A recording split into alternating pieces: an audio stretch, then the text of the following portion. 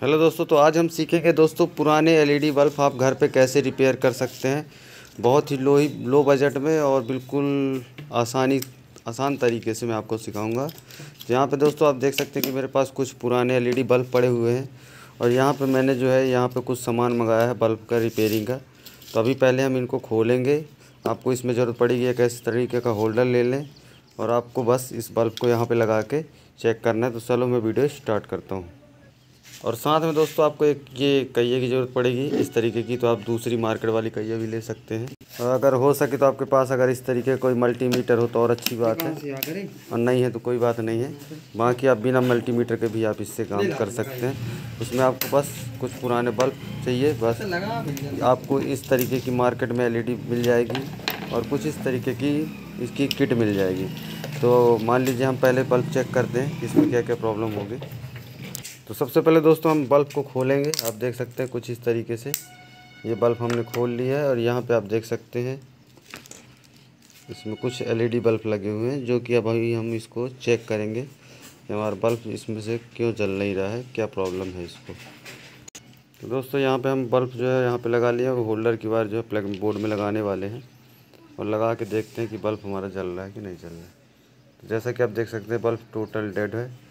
तो अभी हम क्या करेंगे दोस्तों कि मल्टीमीटर की मदद से पहले हम तो इसके पूरे एलईडी बल्बों को चेक करेंगे। मान लीजिए अगर आपके पास मल्टीमीटर नहीं है तो आपके पास एक चिमटी की ज़रूरत पड़ेगी। अगर वो चिमटी भी नहीं तो एक तार ले लीजिए। कुछ इस तरीके से हम तो इस तरीके से आपको पहले दोस्तों आपको बल्ब को जो है एक एक चेक करना है कि आपको बल्ब जो है कौन सा ख़राब है। यहाँ पे करंट आ रहा है कि नहीं आ रहा तो देख सकते हैं। अभी यहाँ पे करंट जो है नहीं आ रहा, हम शॉर्ट करके देख रहे हैं।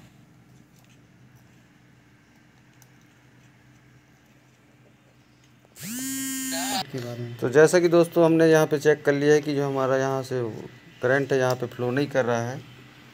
तो हमें इससे ये समझ में आ रहा है दोस्तों कि इस बल्ब की जो है किट ख़राब है तो हम इस पर इस टाइप की किट का रिप्लेस कर देंगे। इसमें हम नई किट डाल देंगे। तो ये हमारा बल्ब जो है चालू हो जाएगा। तो दोस्तों अभी यहाँ पे हम दूसरा बल्ब लिए हैं और इसमें भी चेक कर रहे हैं। यहाँ पे जैसा कि आप देख सकते हैं, अभी कुछ वोल्टेज मिल रहा है इधर। ये देखिए। तो अभी हम जो है दोस्तों इसके बल्ब चेक करेंगे।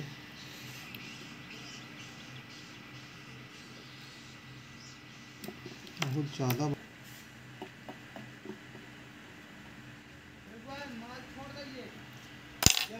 तो हम इसको रिपेयर करेंगे दोस्तों। यहाँ पे आप जैसे कि देख सकते हैं बहुत ही लो जल रहा है बल्ब यानी कि इसमें जो है कोई ना कोई एलईडी जो है एक ख़राब है। तो अभी हम इसको हर एक एलईडी को शॉर्ट करके देखेंगे दोस्तों। तो सबसे पहले दोस्तों आपको इस तरीके की एक तार लेनी है जैसा कि आप देख सकते हैं। और इसी से आपको हर एक बल्ब को शॉर्ट कर करके देखना है।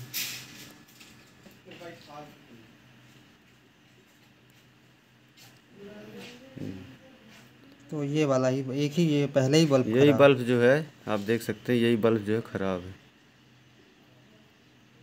हमने इसको शॉर्ट किया तो बल्ब जो है हमारा चालू हो गया। तो अब इसको हम कहिए की मदद से शॉर्ट कर देंगे टोटल हाथ में करंट आ जाएगी पगला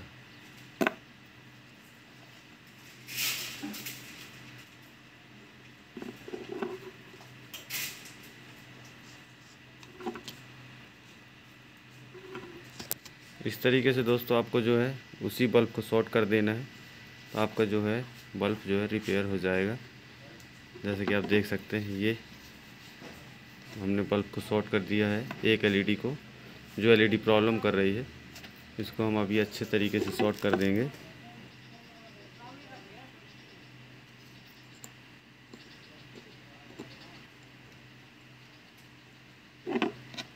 निकल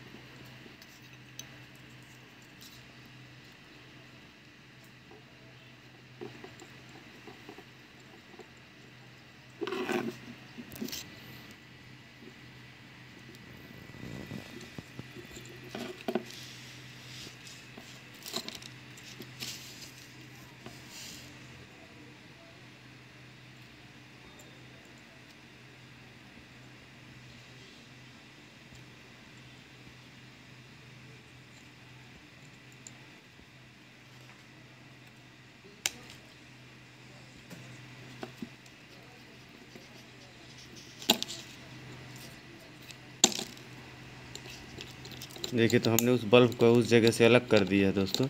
अब यहाँ पे जो है हम दोनों न्यूट्रल और फेस को डायरेक्ट कर देंगे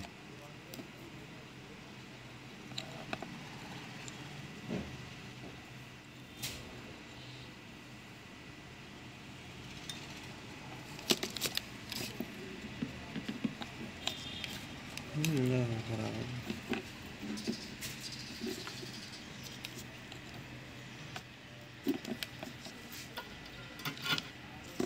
अब हम इसको चालू करके देखते हैं।